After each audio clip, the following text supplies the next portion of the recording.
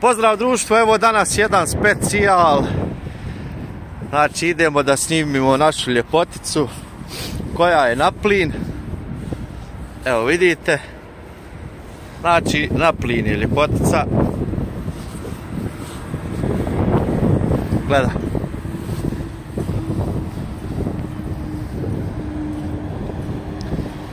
Iveco SV. Da vidimo to kako Iveco izgleda. Znači već sam snimio drugu stranu. Ovaj Iveco je na plin. Idemo unutra pa da vidimo kako to izgleda. Evo prije svega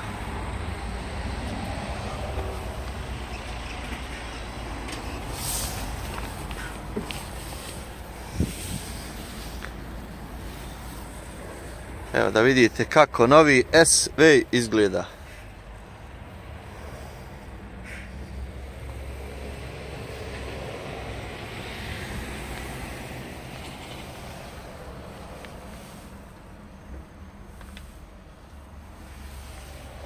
Dosta je prostran i dosta liči onome mom i veku što sam ga vozio.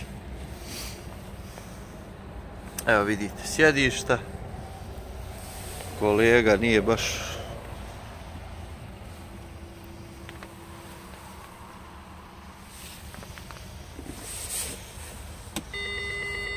hm, tablije mu nećemo valiti. Znači, ovaj novi SV e, jedinu razliku koju vidim je ovo ovdje.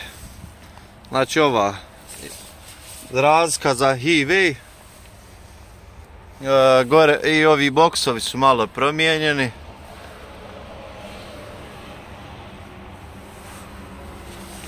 sjedište, a mislim da su čak ista.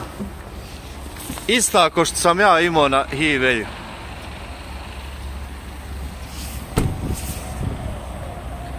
Dosta lijepo izgleda. Znači otprilike oko hiljadu 1000 km može sa jednim punjenjem ovaj Iveco SV da pređe. SV 460.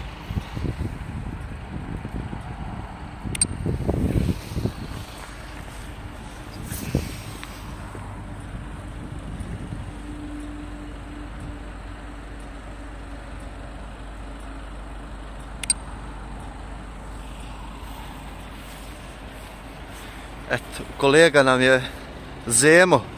Zemo nam je iz Italije pustio da snimimo malo SV-a kako izgleda. Hvala vam na tome. Eto, mogli ste da vidite. Ljepotica. To bilo to sve društvo moje za ovaj klip. E, mi se vidimo u drugom. Vraćamo se mi našem Davčiću. Ćao.